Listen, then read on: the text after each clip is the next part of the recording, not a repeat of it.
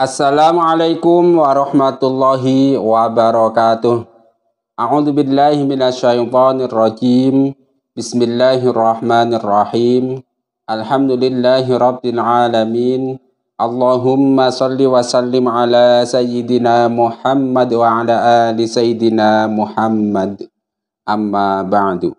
Kaum muslimin rahimakumullah marilah kita sama-sama melanjutkan belajar membaca kitab hikam karangan Imam Ibnu Athaillah As-Sakandari.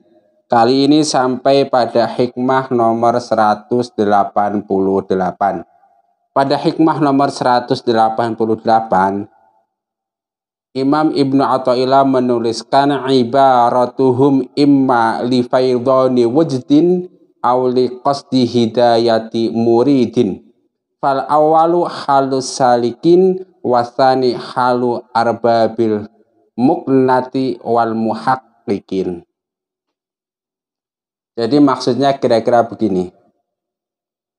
Ketika seseorang belajar ilmu hakikat maka dalam perjalanannya tersebut orang tersebut itu memiliki banyak sekali pengetahuan-pengetahuan, pengalaman-pengalaman atau warid-warid dari Allah Subhanahu wa taala. Kalau dalam bahasa sederhana pengalaman spiritual kira-kira begitu ya atau mendapatkan warid dari Allah Subhanahu wa taala.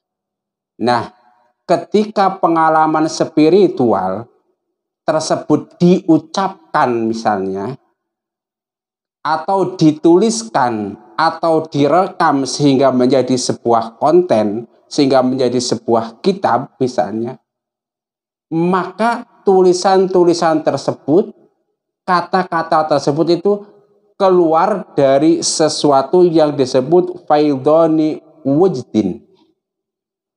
Jelas ya? Jadi pengalaman spiritual ketika diucapkan kemudian menjadi kitab, menjadi konten, maka sumber pengetahuan tersebut adalah pengalaman spiritual tersebut atau faidoni wujdin. Keluar dari pengalaman atau dari hati yang bercahaya. Itu tipe yang pertama. Lalu ada orang-orang yang ketika melaksanakan, menjalankan perjalanan spiritual salik istilahnya, dia sampai pada tujuannya sehingga disebut orang soleh atau dalam istilah lain disebut sebagai waliullah kemudian dia itu mengucapkan isi hatinya atau menuliskan isi hatinya atau merekam isi hatinya dalam rangka mengajar para murid. Jelas ya? Saya ulangi, mudah-mudahan kita sama-sama belajar.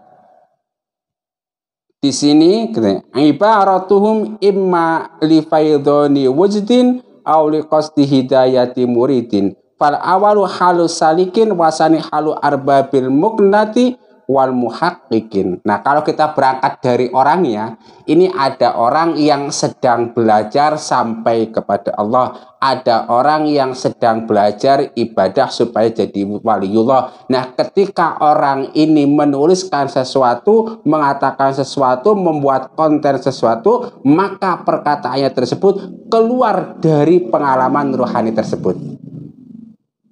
Lalu ada orang kedua nih dia mencoba melaksanakan perjalanan spiritual pengen mendapatkan ilmu hakikat sehingga sampailah dia menjadi seorang waliullah kemudian dia itu mengucapkan sesuatu, menuliskan sesuatu, membuat konten dan lain-lain. Nah, maka hal tersebut kemungkinan besar dalam rangka tujuan untuk mendidik para murid, untuk mendidik anak didik.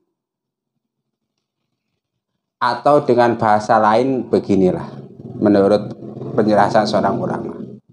Ketika seseorang beribadah dengan baik dan benar, pada akhirnya dia merasakan kedekatan dirinya dengan Allah. Oke. Kemudian dia itu merasakan kedekatan dirinya dengan Allah Subhanahu wa taala kemudian perasaan dekatnya tersebut dia ceritakan. Nah, itu ibaratnya ada yang keluar dari rasa tersebut. Belum sampai tapi hampir sampai.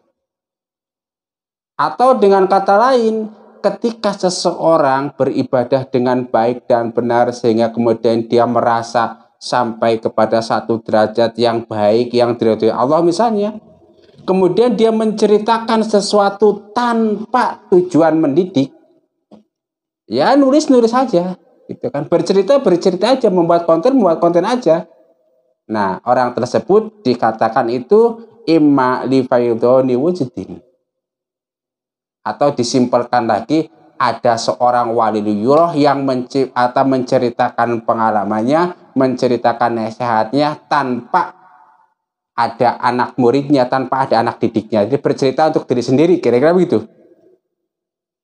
Lalu ada waliullah yang menceritakan pengalamannya dalam rangka mendidik anak didiknya. Dengan kata lain, ada wali yang punya murid, punya santri, ada wali yang tidak punya murid atau tidak punya santri. Nah, wali yang tidak punya murid kemudian mengatakan sesuatu atau menulis sesuatu, maka dia dikatakan keluar dari faidhoni wujudin. Nah, sementara wali yang punya murid, punya santri, dia dikatakan liqasdi hidayati muridin. Mudah-mudahan benar dan bermanfaat. Rabbana taqabbal minna innaka antas samiul alim wa tub alaina innaka antat tawwabur rahim. Subhanakallahumma wa bihamdika asyhadu an la ilaha illa anta astaghfiruka wa atubu ilaik wa minkum. Wassalamualaikum warahmatullahi wabarakatuh.